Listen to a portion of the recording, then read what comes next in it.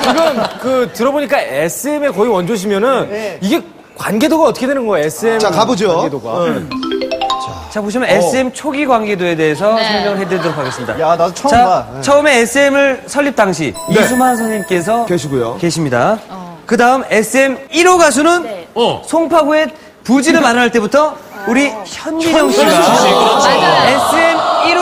SM 1호 가수라는 걸 다시 한번 말씀드리고요. 예. 우리 현진영 씨가 무대에서 멋지게 춤을 출 때 뒤에서 그 무대를 화려하게 빛내주셨던 우리 댄서분들 네. 바로 와와라고 불러집니다. 와 와 1기가 바로 구준엽 씨하고 강원래 씨가 되는 거예요. 대박이다.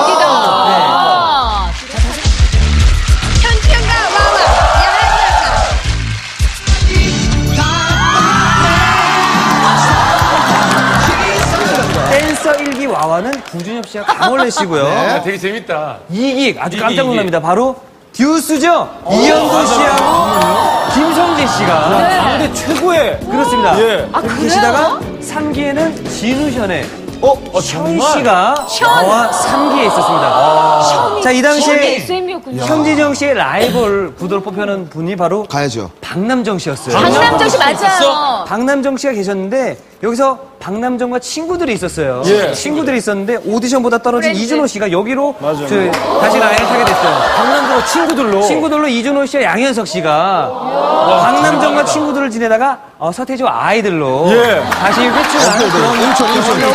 아, 친구들에서 아이들로 좀 젊어지셨네요. 그렇죠, 그렇죠. 슈주는 어디에요, 슈주? 슈주는 어디? 저희는 한 이 정도쯤에 이 정도쯤에 이 정도쯤에 있고 예.